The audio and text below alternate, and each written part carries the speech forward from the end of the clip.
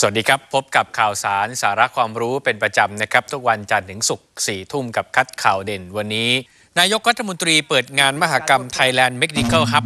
Expo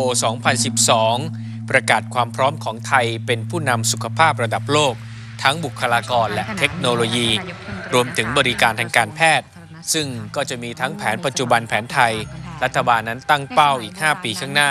ไทยจะเป็นศูนย์กลางการแพทย์ระดับนานาชาติ และคาดว่าบริการทางการแพทย์จะสร้างเม็ดเงินให้ไทยสูงถึง 8 แสนล้านบาท คุณผู้ชมครับ หมดเวลาของคัดข่าวเด่นแล้วนะครับ พรุ่งนี้สรุปข่าวแล้วก็ปิดท้ายด้วยนักเดินทางนะครับ พบกันใหม่4ทุ่มถึง4ทุ่มครึ่งจันทร์ถึงศุกร์นะครับ วันนี้ลาไปก่อน